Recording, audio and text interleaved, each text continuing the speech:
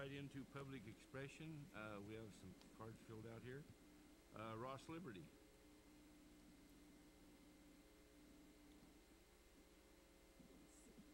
Mike Sweeney. Okay, Mike Sweeney.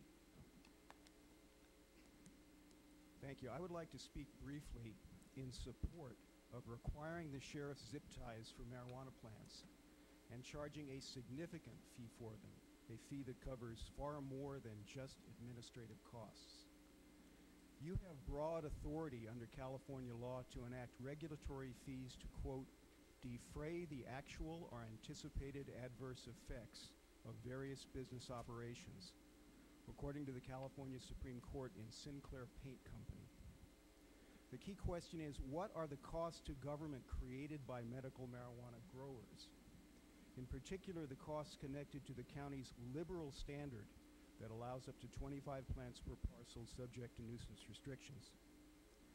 By allowing substantial medical marijuana production, the county incurs numerous costs, including protecting medical marijuana growers from theft and robbery, responding to neighbor complaints about marijuana impacts, investigation and response to marijuana growing which exceeds medical marijuana limits, public education and outreach about county marijuana rules. The Sinclair decision affirms your authority to target costs with the broadest possible linkage to medical marijuana growing. The sheriff's annual budget is $13 million. I would hope it would be possible to identify at least $1 million of marijuana related costs out of that budget and use that as a basis to establish a fee for zip ties. I think the zip ties would sell quickly once their value is understood. A large segment of the marijuana industry wants protection against arrest and seizure. If you and the sheriff provide a safe haven where growers can have up to 25 plants, provided that strict nuisance rules are obeyed, and provided that each plant has a zip tie, many growers will recognize that this is a good deal and a fair compromise. Currently, marijuana is a lose-lose proposition for Mendocino County. It's a loser for the county budget, a loser for the courts and marijuana defendants, and a loser for the general public. You can change it to a win-win proposition that will benefit the county budget, benefit medical marijuana growers, and provide relief to the public. We are fortunate to have a sheriff who is a creative thinker and who isn't afraid to try something new. I urge you to back him up 100% with the necessary amendments to the marijuana nuisance ordinance that will establish a medical marijuana zip tie fee. And I have copies of the Sinclair decision.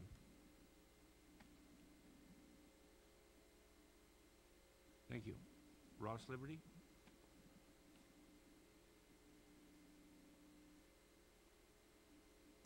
Hi, I just wanted to uh, voice my support for Mike's proposal.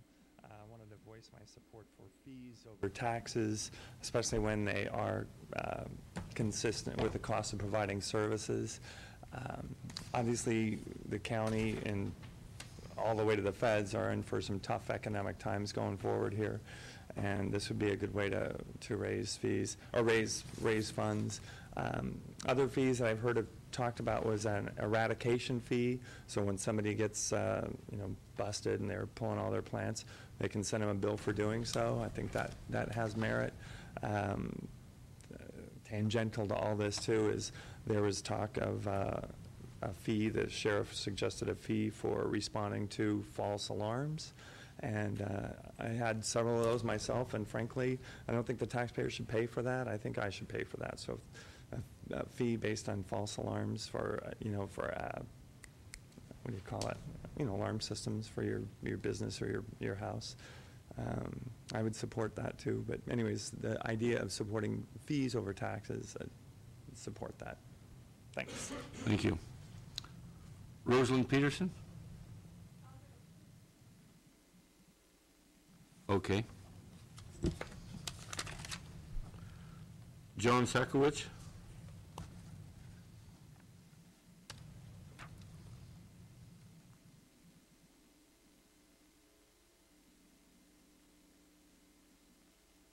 Morning, Board, Chief Executive Officer, County Counsel.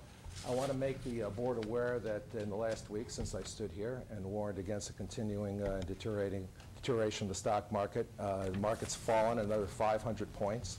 That's about 4.5%. Um, We continue to remain unhedged, which is what I've been warning about and will continue to warn about.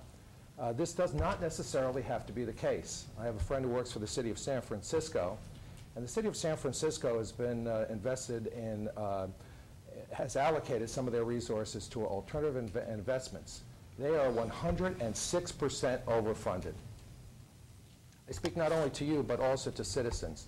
I would, I would be, I think we're lucky if we're 70 or 75% funded in our retirement system. The point of the matter is that there is no incentive to manage our uh, assets wisely. Our, uh, our retirement board could mismanage uh, its assets down to zero, and taxpayers would still be on the hook. Why? Because the pension obligations are constitutionally guaranteed.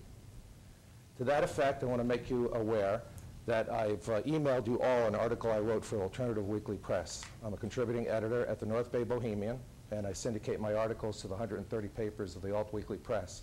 The article is called The Next Big Bubble, and it's about exactly this problem. Uh, the, uh, the problem of unfunded public pension liabilities that were excessive to begin with because they were entered into uh, collective bargaining agreements that were at times the subject of undue influence, and in any event, they're unaffordable right now because of the collapse in the markets. You can uh, read my article at the Bohemian, you can uh, write to me at the Bohemian, or citizens can get a copy of the article just by writing to me directly at SAKO4, S-A-K-O, numeric 4, at Comcast.net. SAKO4 at Comcast.net. This is a looming problem. The Macaulay Initiative would, uh, if passed, if put on the ballot, and if passed, would give you the leeway to renegotiate some of these contracts, which I think is the only way you're going to get out from under them. Thank you. Thank you. John Graff?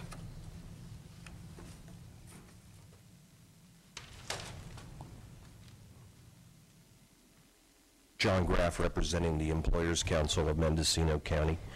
Uh, I just wanted to report back to the board um, the problems that we're having in that uh, transportation committee that was put together to help try to find solutions for the wide load problem. Um, I've been in two meetings now. Um, There's a problem with the inconsistency um, of the opinion of the department head.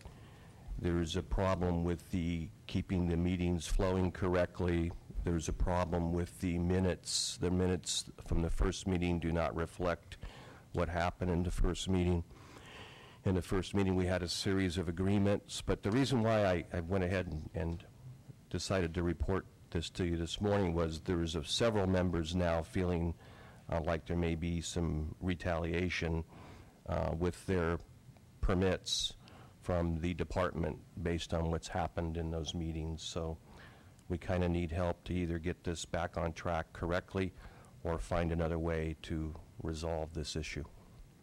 Thank you. Thank you, Mr. Graff. Supervisor Smith? Thank you, Mr. Thank you, Mr. Graff, for your comments. Um, I sit on the General Government Committee along with Supervisor Brown, and uh, this was a referral um, from the General Government Committee to, to convene this group that you're discussing, and that happened in late 2008. I haven't had a chance, uh, since receiving feedback from members of your group that are on this committee, I haven't had a chance to, to go over some of the issues with Supervisor Brown, but I have some ideas, and, and I think that Supervisor Brown and myself should meet with the executive office at the earliest opportunity and see what, you know, where we can go with the communications and, and trying to resolve some of these issues and, and hopefully simplify this and, and move uh, the decision-making process forward.